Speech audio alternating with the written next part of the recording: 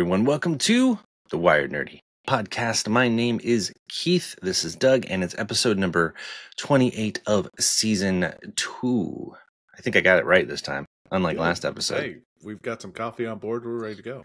Well, you got coffee. I still need coffee. So I'm going to apologize in advance if um, I'm a little sluggish, if I'm a little Dougie today, if you will. I'm going to, yeah. I'm, I'm- trying to switch roles for once, just see you- how it feels. you- You're going to be the sharp one on this one because I may be a little dull. So everybody's going to have to forgive me. So, but yeah, this is an episode that's been a long time in the making. Uh, we are going to, for our main topic, jump into Doug's adventure at the Apple Store. What did I? I finally said made it there. I said Apple Store. I didn't say Android Store. Just so y'all know.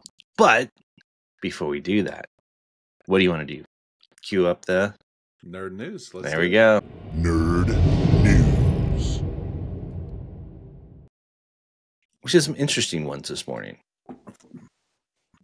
So, if you are an Amazon Prime member, which a lot of people are, let's be honest, uh, you can get the Lord of the Rings Lego games uh, on Amazon Prime for free through October.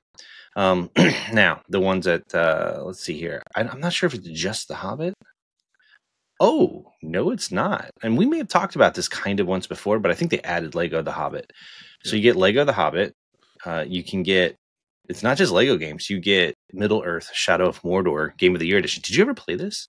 I have not, but I heard really good things about it. It's it's excellent. It's a very, like, uh, it's open world and it's very sneaky game, but it's hilarious too because when you sit on the perch and you listen to the orcs talk, they're hilarious. I mean, it's, it's a very immersive game.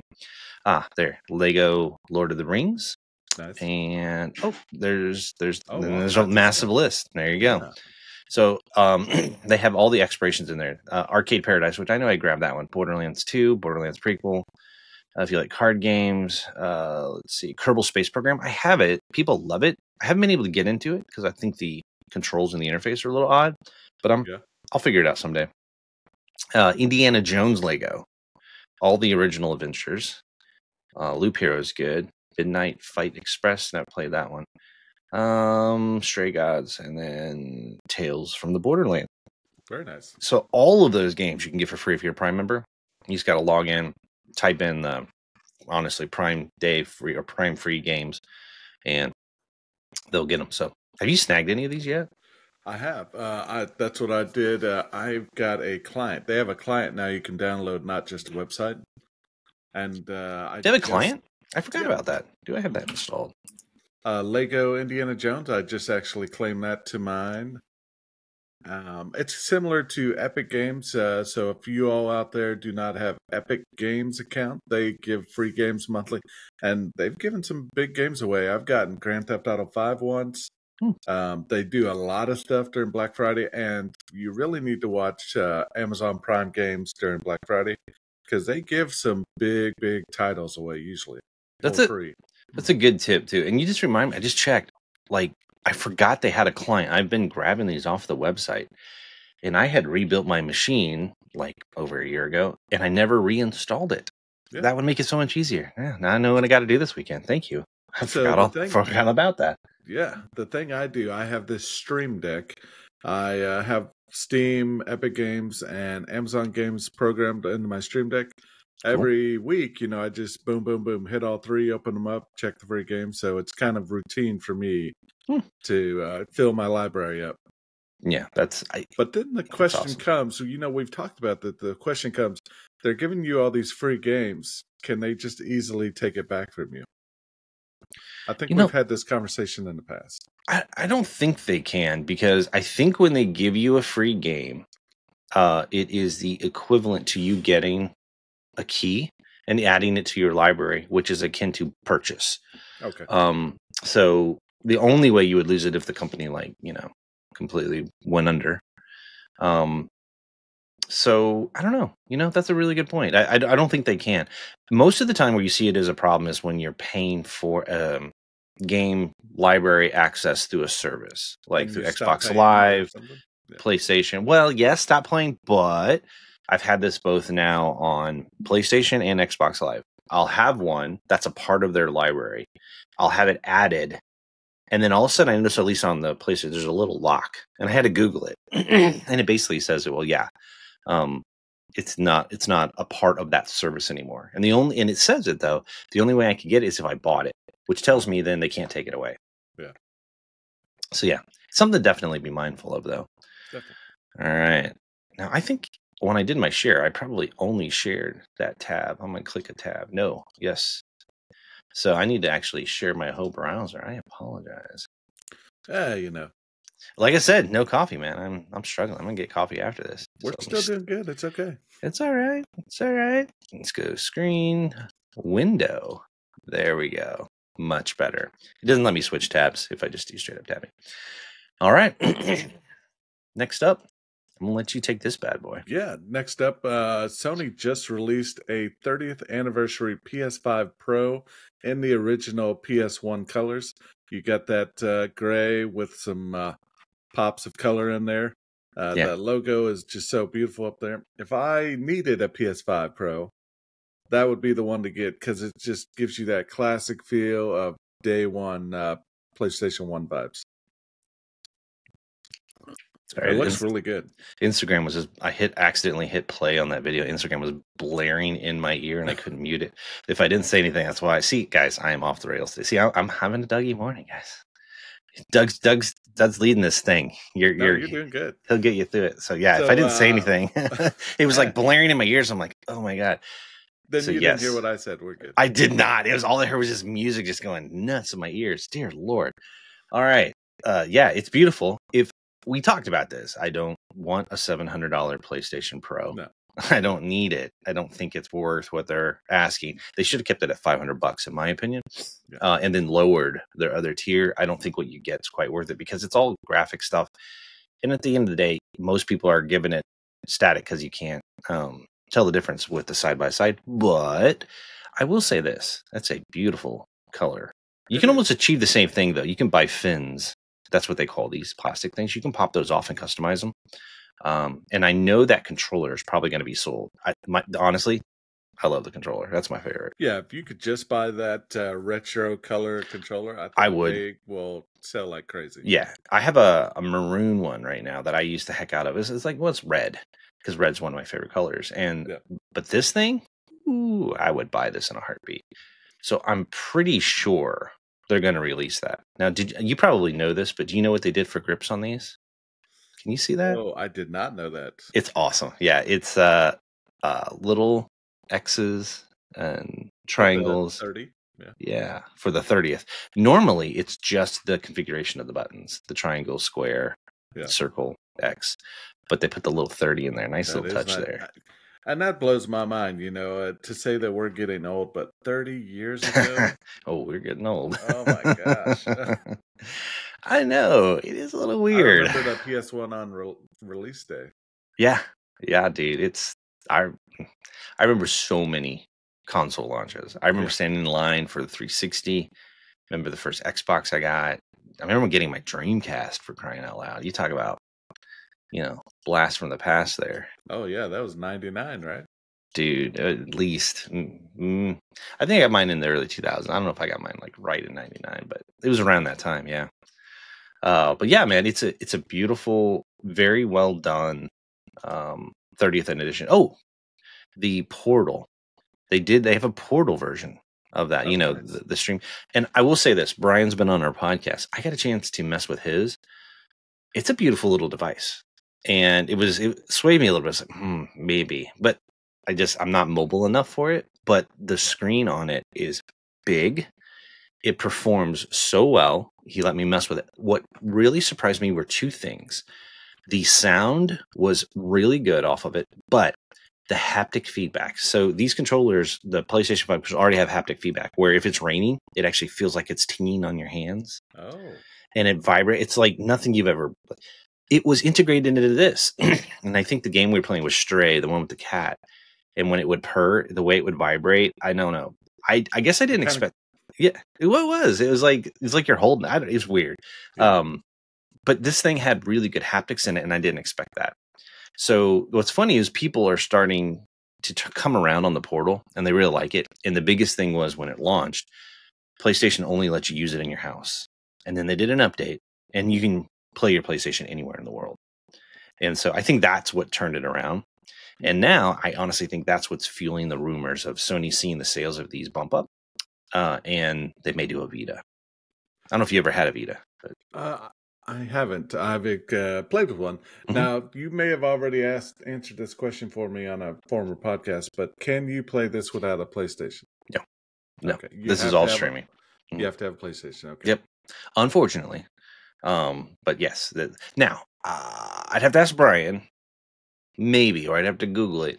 If you have the streaming service that you pay Sony for, which is their equivalent of the Xbox service, Mhm. um, it might be able to stream a game. So I don't know. It's honestly a really good question. While you look that up, I'll flip through some of the other pictures here Yeah. Uh, it looks like they also did the 30th anniversary colors for the, the headsets and also for the earbuds. And I'll tell you guys, I owned a pair of these headsets. They're not very good. They Mm. sound is meh. They go, oh, it's pulse sound, and I, I I bought into it. I was like, oh yeah, and I bought it. I couldn't stand them, and I ended up buying a SteelSeries headset for my PlayStation. Far superior in quality, features. So don't mess with them. So yeah. Everything I'm reading on this uh, PlayStation Portal is you have to have a PS5. Okay, so you can't even use their. You think they would open it up so you can use their streaming service for it, think. especially when you spend that amount of money per year. And Oh, by the way, the PlayStation streaming service, if you haven't, you've probably heard me say it's it's pretty decent. They've got a massive game catalog, you know, and uh, it's decent. Everybody goes on about Xboxes, which is great. Game Pass is awesome, but ooh, Sony's got some good stuff out there too. My biggest thing is just it's freaking expensive. I had the the massive tier plan where you had all the PlayStation One on it. I think it was getting to be like over two hundred dollars uh, a year or something like that. I Yeah. scaled back to like the eighty dollar a year one, or maybe it's like right at a hundred, and then but that gets you some of those titles, but just not the deep cut catalog of PS One. If I want that, I'll use my emulator. So. Alrighty, Pretty cool colors there. Yeah. now you you liked Cyberpunk, didn't you? Yeah, I really enjoyed it. You know, there was always the uh, people having problems with it running and buffering and all this stuff. It ran flawless, flawlessly for me on my uh, computer. Big words in the morning. That's fine. PC did better than any of the console launches, but since then, of course, kind of like the No Man's Sky game, they had a bad botched launch, but it went really, really well after they patched it. I've been meaning to go back and replay it because I've got the DLC, Liberty City. Haven't played that yet, and they say it's supposed to be awesome. I was talking to my son about this recently, and he said it's just it's like a totally different game. It's so stable, it's good, good And he experience. said Idris Elba is a uh, guest uh, voice or actor in there. Yeah, he is in the DLC. He's an actual actor in it. Yeah. Yeah, the yeah. game, just to talk about it real quick, you know, it started with all these problems, but that uh, fix uh, or the update uh, added car combat and all kinds of stuff, and it does run flawlessly. Yeah. And so why we're talking about this, the actual news pieces is that Netflix has been doing this a lot. They're getting into the specific IP properties and they're doing anime versions of them, probably because it's a lot cheaper to produce. Uh, so there's going to be an anime of Cyberpunk uh, from CD Projekt Red. No, I'm not a big anime guy. Like, um, you know, my son, he's into some of them. Like, he likes uh, the Ghibli Studio, like Howl's Moving Castle, things like that. So I've seen them in passing. I'm aware of them. And then, of course, to me, the only anime I ever really liked was Akira, which is like way 90s. uh, but I've never been into anime. However, if it's got a a theme or an IP I like, like I love DC did a whole series where they took the comic books and they adopted them to anime. Like um The Last Joke, which was a Joker run, uh, you know, Son of Batman, uh, Infinite uh, I think it was like uh, Infinite Wars. Uh, well, no, that's Infinity Wars. Crisis on Infinite Earth. That's it. That was so. All these DC ones they adapted them, and they have a lot of them either on HBO Max or even some on Netflix at one point. Those are really good because I think I know the characters. I'm familiar with it, and I, I don't know. It's I don't know. I, I'm good with it. The one I want to watch now, and I think I messaged you about it, is Terminator. So Netflix has a Terminator anime, and I was telling Doug before the podcast I was reading when it launched, it's one of the few animes that have launched that have 100% Rotten Tomatoes. uh, on it. Now, I don't know if that standing has held. We will check.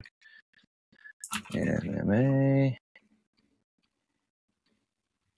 Uh, it's at a 86. Thank you. He beat I me was to the trying punch. to get it quick. No, I appreciate it. That's still pretty dang good.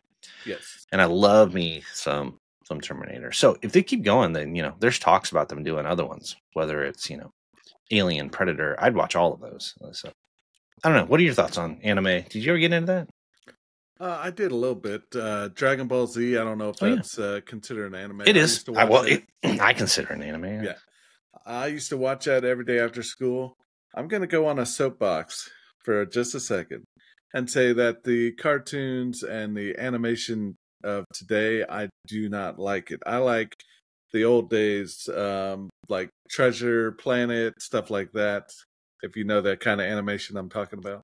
Oh, totally. The the classic Disney animation. Yeah. The Uh, hand drawn stuff. and I don't know what the style's called, so I can't properly say it. But that uh, style of animation versus today's style of animation, I like a lot better. A lot of today is Pixar. They don't do a lot of hand drawn stuff, honestly, um, unless it is uh, one of these type of anime. But anime has its own style. It's got a certain frame rate. It moves a certain way. Um, characters are typically drawn a certain way. It's a whole subculture, but I appreciate it. I just I've never really gotten into it deep. So, I had friends that did in high school. There were some like Cowboy Bebop, uh, Bleach. I've seen one or two of those. But Some of them got adapted to actual live action on Netflix. I know Cowboy Bebop did, but it didn't do well. Yeah. Um, so yeah, I appreciate it. I have a respect for it. Just never been my jam. So I'm gonna definitely check out this though, the Cyberpunk. now there is a Cyberpunk Edgerunners already on Netflix. Have you watched that? No, I forgot about is, that. uh, you just reminded me. Adult. I'm just letting everybody know It's there's some, uh, Cyberpunk. nudity, uh, drug themes, stuff like that. So it's not really for the kids, but I uh, enjoyed it. It's weird, but it is Cyberpunk. It is. Well, Cyberpunk's pretty rated R. Yeah. Yeah. Gabriel and I were talking. To, Cyberpunk uh, Edgerunners is already on Netflix. it's so funny, Gabriel, my son and I were just talking about this last night. well, I had to take him and drop him off somewhere. And we were talking about this particular thing here. And it was funny because I was saying, he's like, Oh, you got to get back into playing it. They got all the bugs patched. And uh, he's like, I, I did every accomplishment. I got over 100 hours into it. Nice. And he said that, um, you know, we were just going back and forth on. it. I said, Yeah, there's a lot of, uh, you know, adult themes in it. Keep in mind, he's like 19, he's an adult. And uh, I said, Yeah, it's just weird because my PlayStation's in the living room.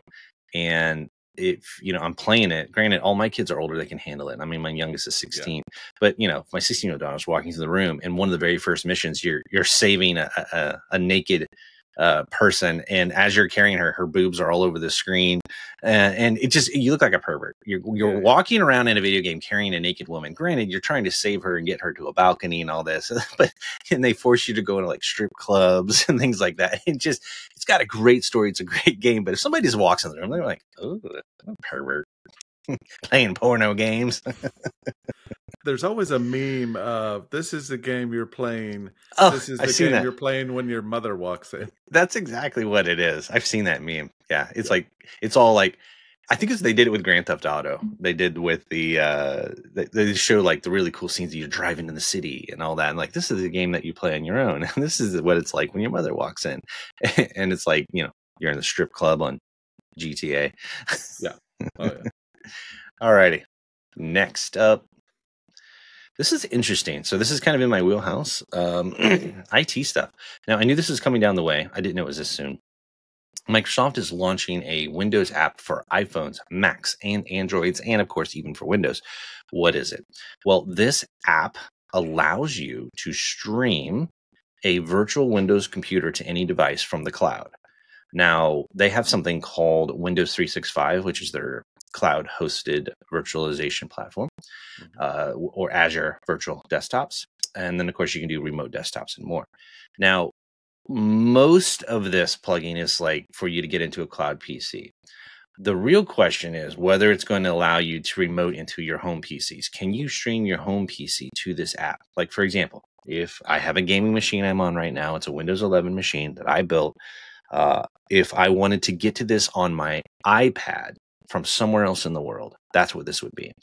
Um, I don't know if the app is going to allow that just yet. It doesn't mention remote desktop, but the way that they market it, it's all about getting access to your virtual uh, computers inside of the cloud. Now, I'm excited about this just because in my career path, this is my area of specialty is virtual computers. Um, the company I work for, it's what we do, and uh, I like to say we're probably the best at it. Uh, but the cool thing is, is that we have partnerships with Microsoft, and I'm pretty sure even if it's not just straight up Windows 365, one of some of the partnership partnership stuff that we have is a lot of companies will host virtual Windows computers using my company's software. It's called Horizon uh, inside of Azure. So this app may be another mechanism to get to that.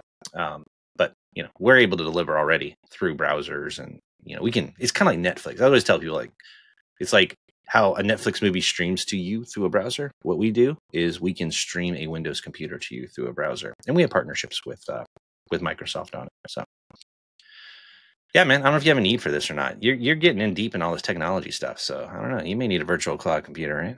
I I might. You know, I've uh, set one up before, just kind of basic uh, virtual machine. Not yeah, you can do it locally. Yeah, yeah. And uh, I I understand the concepts. I'm just gonna have to have some lessons. I think if I did more what I'm trying to say is I would want like a my own cloud server at home for all my files and stuff. Oh yeah. I think if I set that up, I would use it a lot. Yeah. Yeah. It's there's a lot of different reasons. I mean, really it's and you can tell by the video, it's very business. And the idea is that if you want to use Windows, but you want to be device agnostic, meaning I want to use Windows because my organization is all Windows apps. However, I love my iPad. I'm like Doug. I'm now I'm now locked into an Apple ecosystem, but I still want to use Windows every now and then. So think of it that way. And all of this, notice it's hospitals, it's people working somewhere else, it's business yeah. people, and that's because it frees up people to choose the device that they want, all while still not having to abandon the apps. Because honestly, for companies to switch apps, it's very very expensive. That's the promise of virtualization: is that you can deliver even old legacy apps to any device. That's the beauty of it. So it's cool. I'm glad to see that uh, Microsoft is advancing this space. Are you hating on my copy of Word uh, 97? Oh my goodness! Let's yeah, let's not let's not. Okay, we'll move on. All right, this is a good one you found. I'm gonna let you take it. Yeah. So uh, you've been in the nuclear field before. Yep. I uh, saw this pop up and I thought it was very interesting. Microsoft is uh, reopening, or at least activating, and tell me if I'm using the wrong term, one of the uh, towers or one of the hmm. cooling. It's reopened yeah. reactors for yeah. uh, Three Mile Island. For those that don't know, uh, Three Mile Island did have a nuclear accident back in the 80s, I believe. Mm-hmm. Uh, it wasn't. Uh, it wasn't even close to Chernobyl in uh, Ukraine. No, if people know about that one, but no. Uh, it did raise some concerns because it's in the continental United States, and the threat of radiation spreading to other states was uh, very scary. It happened. I hope I summarized that perfectly. You did close. It was uh, March 28th of 1978. Oh, 78. Okay. So now here's the thing for those of you, whether you're young, if you're older, you'll probably remember this. Um, nuclear was huge. It's, it's kind of funny if you ever play the Fallout games. There's a reason why everything's nuclear powered because there was at one point in time and in history where nuclear was going to be the saving grace for all things electricity. Everybody loved it. Uh, then we had, of course, Chernobyl took place. Chernobyl was very specific in that um, it happened because number one, they had the reactor in a pole barn. It wasn't shielded. it was. Oh. I'm being dead serious. That's number oh. one. Number oh. two, oh. the the Russian government was redlining it. They were pushing it and doing testing to see how far could we run the reactor have it stay stable without our auxiliary backup power nice. and uh, to keep it cool. They basically were redlining it. How hot could it get before it melted down? So they caused it because they were pushing it. They were doing testing. And so that's what led to that.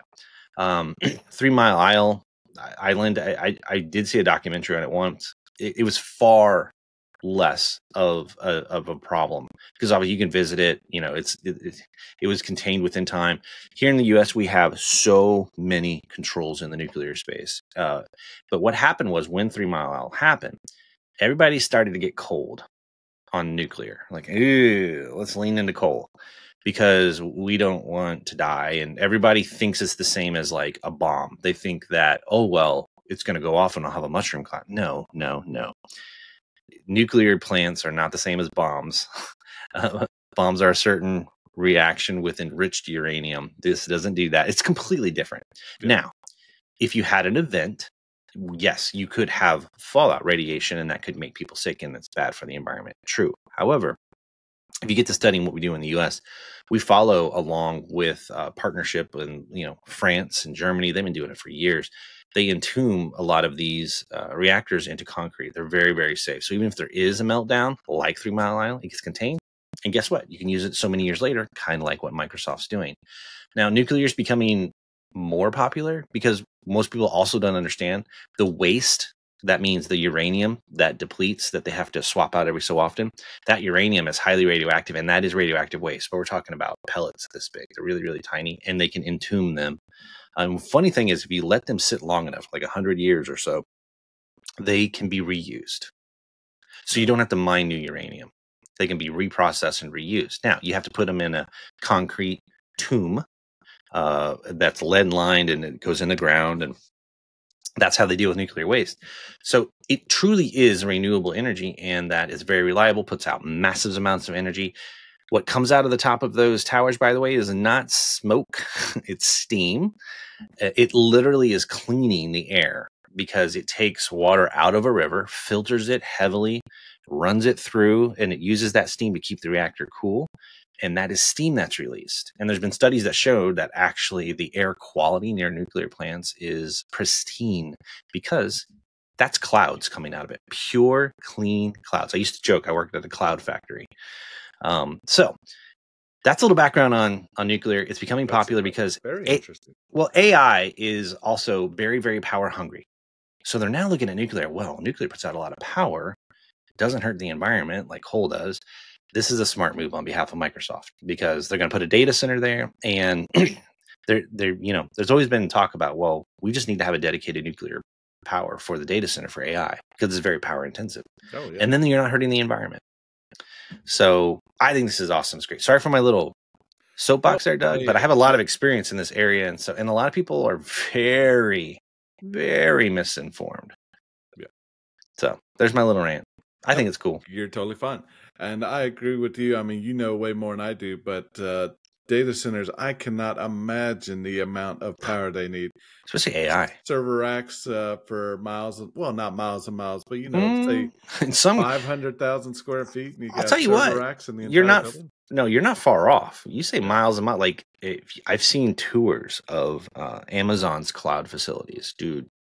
We're talking like a Sam's size They just club. go on for days, right? Yeah, sometimes they're multi-level, size of a Sam's or multiple Sam's clubs But. You're not you're not far off actually. Now, Uh, as an IT guy, how would you find the specific rack in a Yeah. server farm? I mean, Oh. to me, that seems crazy. Well, all of it is there's a lot of ways they they do it. So all of it, everything is labeled extensively, and you have standards in how you label things. Uh, some of these really large facilities, they have softwares, uh, tracking softwares. Here's where it gets really nutty and gets really cool. They have near field RFID uh, on every single area. And they even got it to the point with some of these softwares that, oh, I have a problem in rack 34 alpha or 34 delta. Yeah. Apps that connect and they can like walk the facility and it tells you, it's like GPS tells them when they're getting close Oh, to it. Yeah. And then everything's labeled. Like, dude, it's very, very sophisticated. You know, because you, like you said, I mean, I'm not in the IT field, but I'm thinking if I have one little board bad, Yeah. on uh, server called- 200 of yeah. 50,000, Yeah. The, bl- Yeah. the boards are called blades. You're spot on. Everything's labeled meticulously. Uh, and the same thing for cabling. Every cable's labeled. You can find, because you all, most of the cables will be overhead inside of stanchions or trays that we have. Uh, and then all the power's ran under the floor and the subfloor, and all the floor tiles can pop up. It's, data centers are fascinating. I've spent tons of my career in data centers. Uh, and now that we have AI, the, the need for power is even greater. But what one last thing about this is that you mentioned it. Bill Gates is heavily invested in the advancement of nuclear power. Places like Three Mile Island, places like near us, they're like old, d- designed in the 50s and 60s. We're talking massive reactors, you know.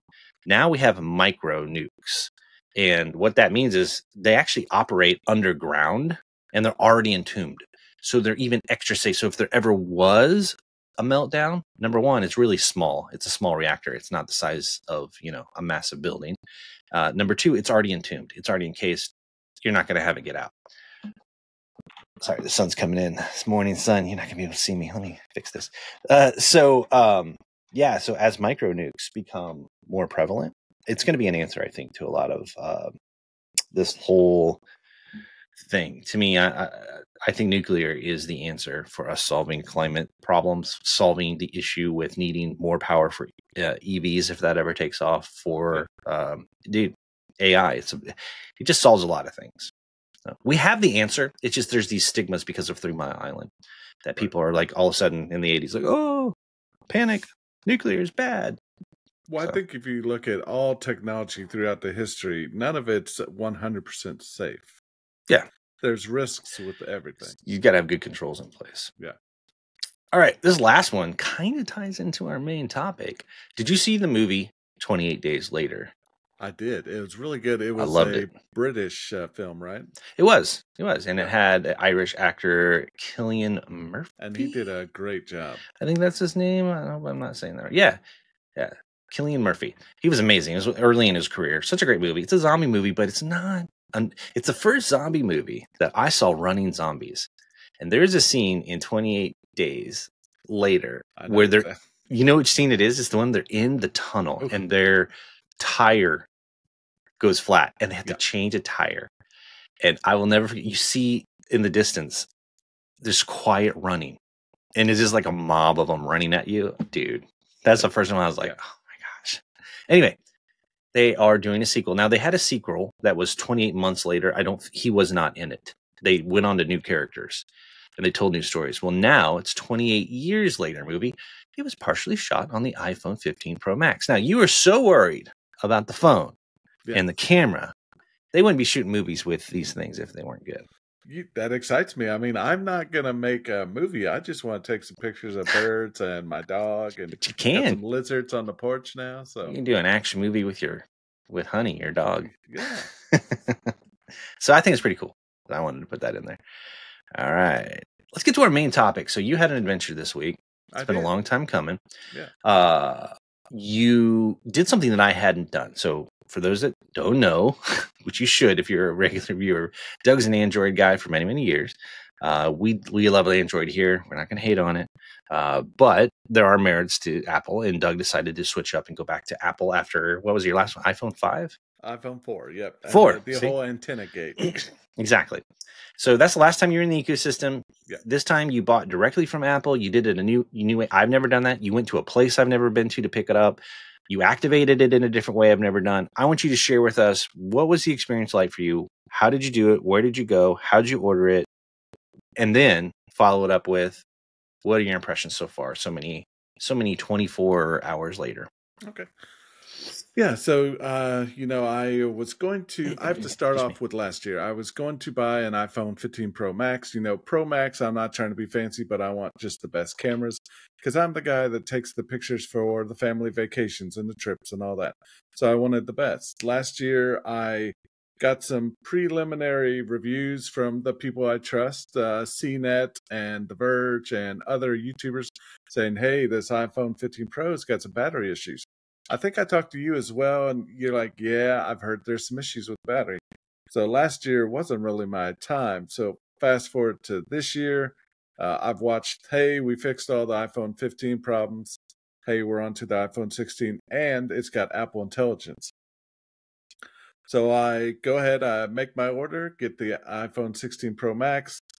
The other issue last year was I ordered from Best Buy. Uh, I've got a credit card at Best Buy. It gives me some points or something, whatever. But then it kept delayed, delayed, delayed. So I thought, um, this is a third party retailer. I need to go straight to the source. So this year I ordered straight from Apple. I had it sent to an Apple store thinking the Apple stores, instead of shipping it to me, might be safer because you have to sign for Apple phones at your house. I'd have to take off work. It's a whole headache. It's the whole thing, yeah. So, uh, kind of skipping all this uh, rambling here, I get to, hey, your Apple uh, or your iPhone's here. I also ordered a watch. It's uh, very nice. I love it so far. Yeah.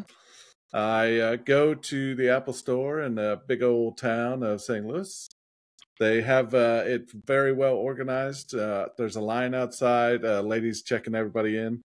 But then I find out this line of like 30 people is people wanting to get an iPhone that haven't made an order. She's like, if you have an order, you need to skip ahead. Well, boom, straight to the front of the line. I get my phone in less than five minutes. Everybody is so nice. Uh, the funny thing is, they look at my phone. They're like, "Oh, is that an Android?" I'm like, "Yep, I'm making a big switch today." What and it's they kind of a clap. They're like, "Yeah." They welcome to the clapped. They cheered. Are you well, just serious? this one guy helping me. That's you have hilarious. Like Thirty Apple uh, people. They've all got uh, clients or customers getting phones. But he's like, "Yeah, woo, you're switching That's- teams here." So so funny. So here we go. If you if you all have uh, never been to a an Apple store, yeah, if you have a picture, that'd be great. There go. They're all very Uh, minimalist.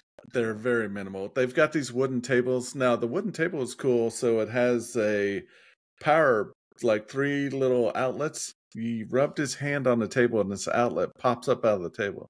Are you serious?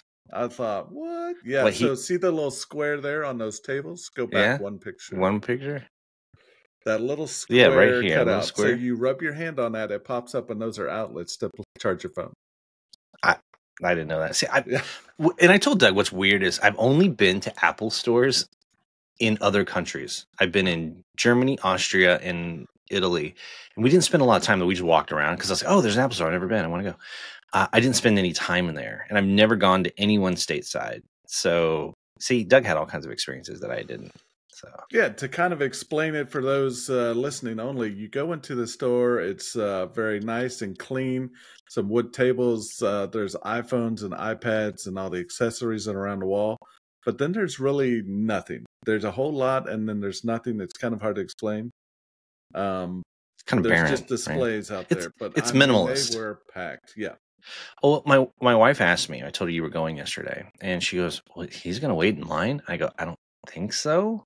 And so, because I wonder what that was like for you, because we've seen videos of people waiting in line to get the new iPhone, and I didn't know what that was about. I, I assume I didn't know if they had all pre-ordered. I didn't. I didn't know what the experience was going to be like for you.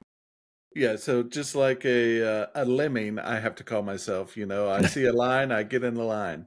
But uh, that was just for people trying to get an iPhone without making an order that day. Oh, so crazy. I get my iPhone, I get my watch. They direct me to an open table. They said, "Hey, if you need help, we're right here, but we've got tons of customers." I said, "Cool, I can start setting up my phone." So I wanted to do a uh, unboxing on the show, but I wanted to also have a phone with some cell phone service as well. Wow, you need a phone. Yeah, I kind of get it. We talked about doing that, but we didn't. It's no need Yeah. to waiting. It's it's enough to talk about the the, so the the, big reveal here, I've got a uh, OtterBox case on it, and Alright. I've got the retro fish logo on my iPhone there. Look at that. uh, iPhone 16. Uh, I've never had a pop socket, so my wife said uh, this will help save your fingers. It's it's awesome. It's good for a single, especially being a larger phone. It's nice having the pop socket because I like the larger phones as well. Sometimes you can't take your. I have small fingers. You know, Yeah. it's like like being able to do this with my stubby fingers is tough with one hand. You have to have two because it's a bigger phone. But having that pop socket actually makes it to where you can do it. So the cool thing this year, and I uh, forgot my cameraman. I didn't pay him his dues, but uh, this is now your camera button. It is touch Hmm. sensitive, so half a press, you can slide it back and forth. It's touch sensitive. That was all on the keynote address, but that's been really cool. Cool. I'm not, and I don't have that one, so that's that's awesome, man. So overall, like, so you went through, you bought the direct from Apple. You had a great experience. You had texted me and asked me, like, well, how do I transfer my number? Like, and I'm used to, and I'm used, I'm familiar with eSIMs. Up to this point, the phones that I've had, you you either have an eSIM uh, or a SIM, and most of the phones I have have both. And I've just stuck with SIM because the advantage to SIM is I can especially we we rotate them in our family between me Yep. and the kids so i can pop my sim out hand it to somebody else you know um and it makes it easy but yours is all Mine's esim a eSIM only, I believe. I've looked at the phone. I don't see any port for a SIM card. okay So I it partially transferred my information from uh, this phone to that. Uh, somehow I registered, pre-registered on Apple, and they knew I was already a AT and T customer. But I just had to call AT and T. I said, "Hey, I have a new phone. It's got an eSIM." Mhm. and they sent me some code, and boom, service. is on your way. Okay. Yep. Cool. I'm curious about that because I I wondered how hard it would be to swap because I'm so used to the chip. That what goes with the chip is usually if you you can save your contacts on the chip, but typically it's just your phone number.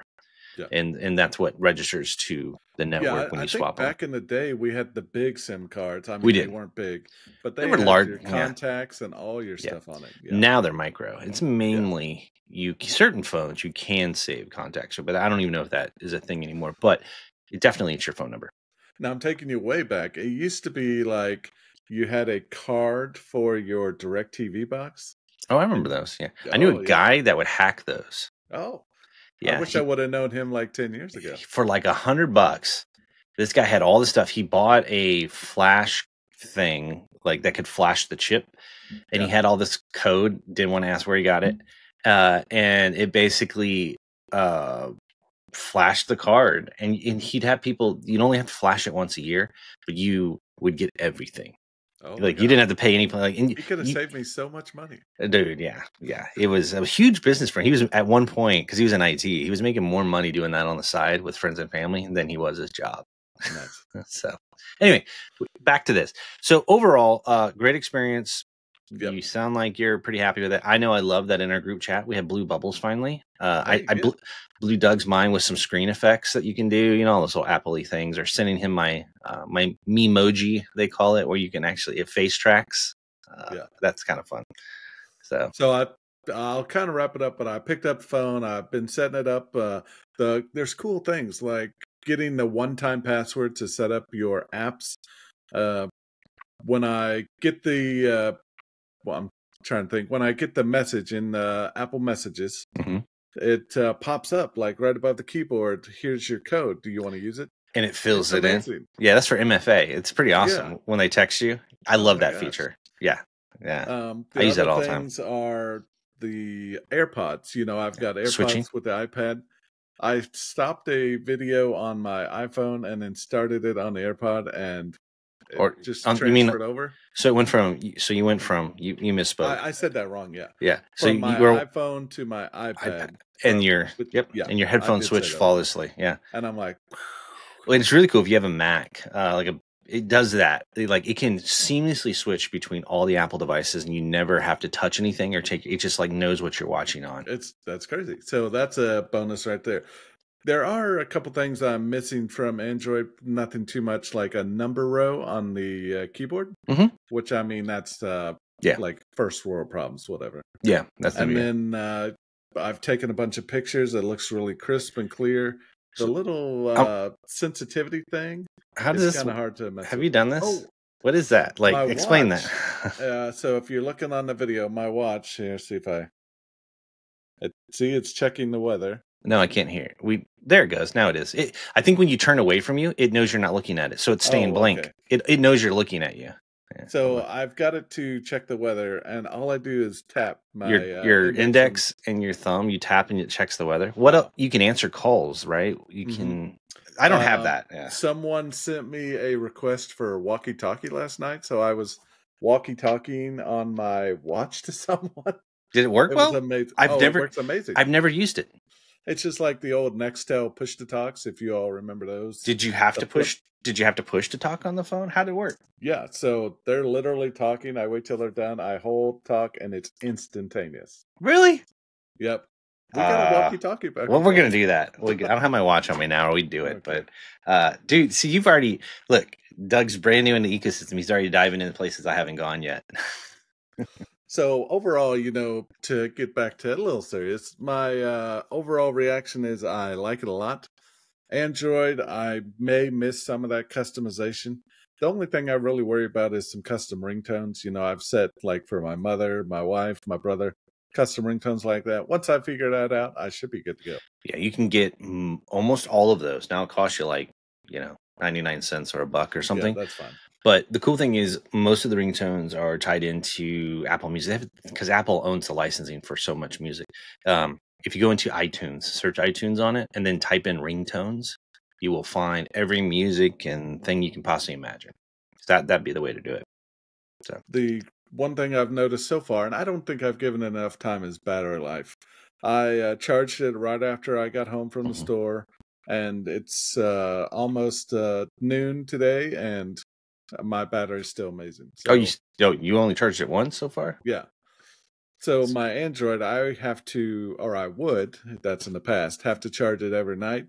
I'm hoping this I have to charge it once or twice, Yeah. uh, once a day, hopefully. Yeah. Oh, dude, I I go I'm charging all. my Android five, six times a day because it just. Are you serious? I'm serious. That's so But foreign I'm to a me. power user. I mean, I I get it, dude, but so, text everything so- all the time. so am I, man. Look, I went actually I went to St. Louis earlier this week too for business, and I was at uh, a customer site thing where we were doing presentation. Their Wi-Fi sucked all day long. Keep in mind, all the way there, GPS, all the way back, and while I'm in the meeting, I hotspotted my phone for my work computer to sync to it, and the whole time I ran the present. I think that night I got home, I was probably like at sixty percent. No. Like, and I use it all day. I even hotspotted all day. My Android would have been dead, and I would have had to look for a place to charge it. That's insanity. All right. Well, dude, you sound really happy. I'm, I'm Uh, yeah, glad you did it. I think it was a great experience. It was really cool, the stuff. Uh, I'm excited about the stuff we'll learn.